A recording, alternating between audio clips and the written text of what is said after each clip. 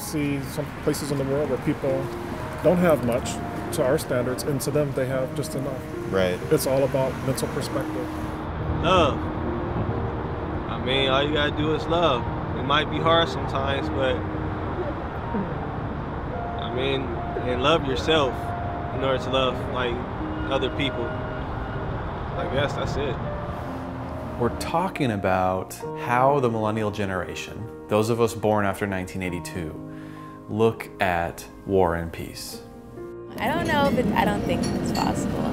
Or it may maybe in like a very long time from now. Very, very long time from now. For world peace. What has changed since the 60s peace movement, and what's the difference between our generation and that generation? Can we do anything at all to reduce global violence? I love the smell of gunpowder in the morning. Yeah. Our whole adult lives, our nation's been at war in the Middle East, in Iraq, and in Afghanistan. It's really difficult for people to make change without, um, without violence or revolution.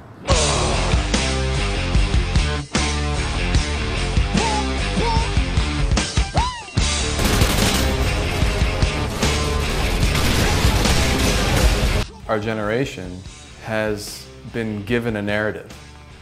We've been given the images, and they're so pervasive and so strong that it's hard for us to imagine anything outside of that narrative. The narrative of the war on terror, shock and awe, not to mention all the other violence that saturates our pop culture. So thinking about a nonviolent approach to conflict is relatively hard to do.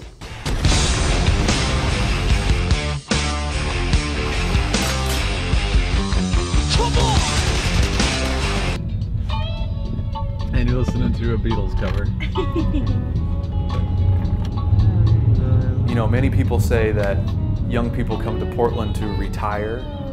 Well, that may be true for some people, but we want to find some people who are here to inspire.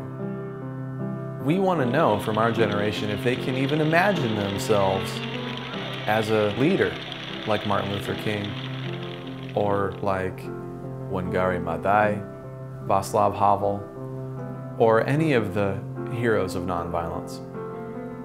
Or are we just too wrapped up in our Facebook, Instagram, Snapchat bubbles to even care? These are questions that are going to define how our generation is perceived by future generations. The path of nonviolence is the hardest way. The nonviolent way takes time, it takes moral leadership, it can take decades. We know from research over the last hundred years that nonviolent campaigns are more than twice as successful in achieving their aims as violent ones. Where are the heroes of nonviolence today?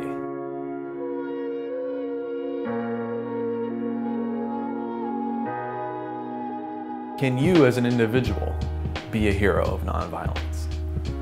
What's the opposite of terrorism? It's taking an innocent stranger and treating them as a friend whom you welcome into your home in order to sow and create understanding or respect or love. The point of this film is to bring heroes of nonviolence into our awareness. It's to show and inspire individuals. And it's interesting to the young generation because it's from our point of view. Right now is an incredible opportunity to ask these questions to our peers. Our generation is so much more accepting of all kinds of different people and so much more willing to get along.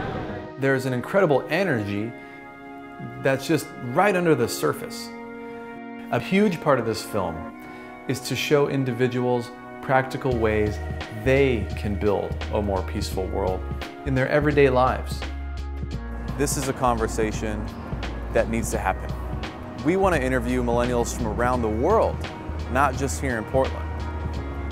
This is going to be a tool for education, a tool for inspiration. That's the value of this film, and that's why you should get involved.